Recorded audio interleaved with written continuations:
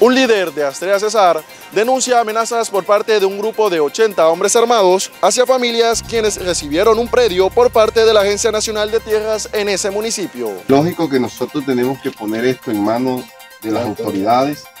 porque mañana o pasado no se vaya a decir que fuimos nosotros los que no ocupamos los predios y que los predios estaban solos y por eso yo como líder soy testigo.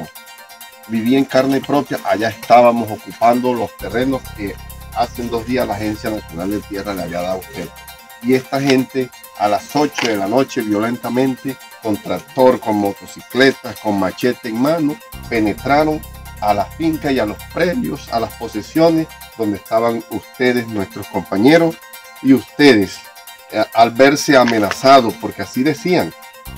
Contimá muerto iba a haber ahí si no salían.